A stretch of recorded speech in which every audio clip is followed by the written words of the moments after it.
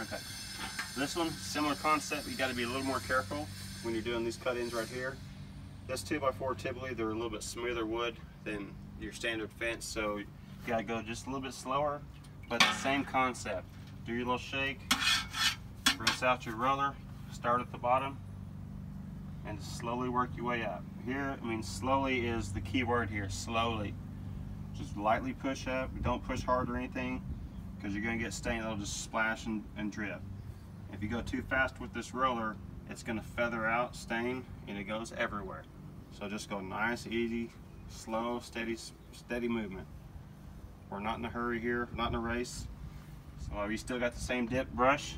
Start at the bottom here and have a nice, slow, even stroke up here. You're gonna have a little gap that you didn't get.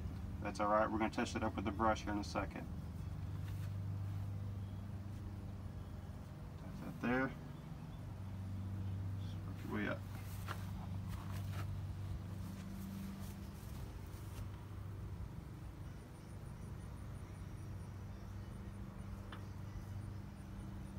Always do your top ends.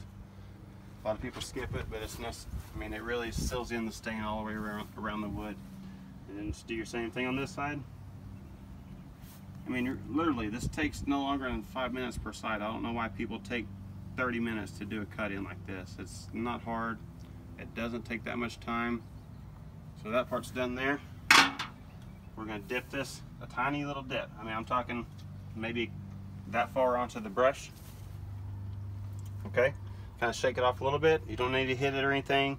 You one quick little tap like that, and that's good. So what you're gonna do, you're gonna start here at the bottom. You barely touch it, get that line started, and you just keep your brush on the wood. Don't even look at the brick, okay? Keep just keep an eye on the edge. You're not gonna touch it. You're not gonna hit that brick if you don't think about the brick.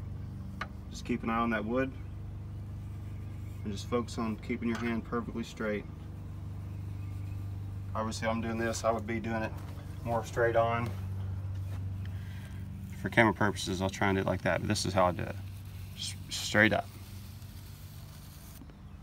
Perfection. On this side, you'll touch that in there. Just that same concept, I really don't even need to, to dip it again. I'll just start at the same spot and work my way up.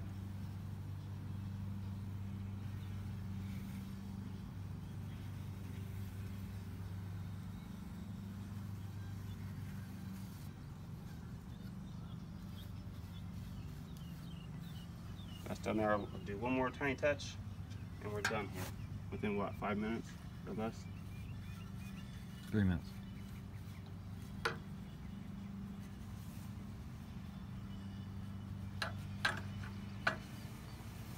Done.